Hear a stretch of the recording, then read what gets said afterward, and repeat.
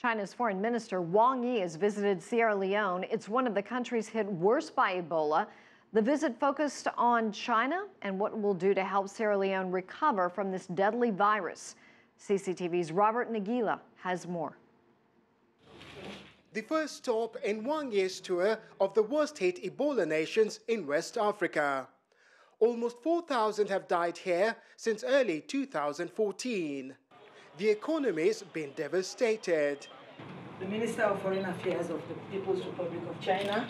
And this was the foreign minister's chance to see firsthand the progress in beating Ebola and to hear from the Sierra Leonean president how the country plans to rebuild. On behalf of the government and the people of Sierra Leone, let me welcome you and through you thank the president and government of the People's Republic of China. Chinese medics have had a frontline role in combating Ebola here. It also supplied critical equipment, including a mobile testing lab, to fast-track diagnosis. Wang Yi says the main focus now is promoting economic growth and that there will be support for various sectors of the economy. On health, this will include research on tropical diseases, while the delayed $300 million Freetown Airport project will be given top priority.